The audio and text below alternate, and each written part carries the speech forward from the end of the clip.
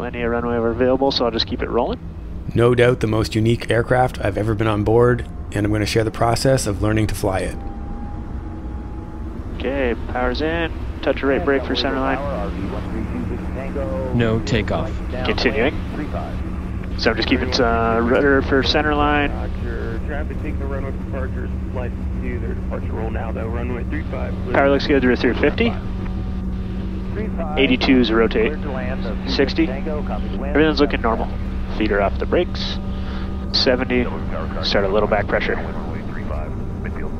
And we'll let it fly. Echo Mike, extender down on fire base. Probe heat off, expected. And up we go. This is the production intent aircraft. It's currently on a multi thousand mile cross country. I joined for a few of the legs, and it's all electric. Just for kicks, take your headset off for a sec.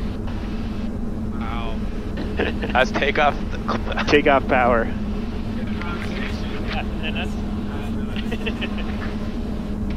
wow, yeah, you aren't kidding. No need for noise canceling. How loud is it on the outside? 916 Lima Foxtrot. So ATC interrupted before Doobie could answer that, but for the next leg, I rode on the caravan, so I got to hear for myself. All right, Alia is on the takeoff roll, straight at me. I don't hear a thing yet.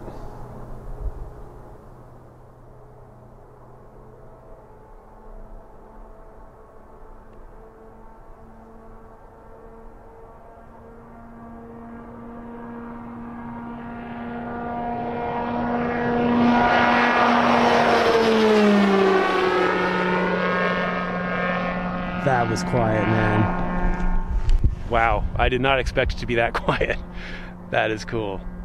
On board, I could have my headset off during the initial climb at full power and have a conversation. So, not surprising, but damn, that is impressive.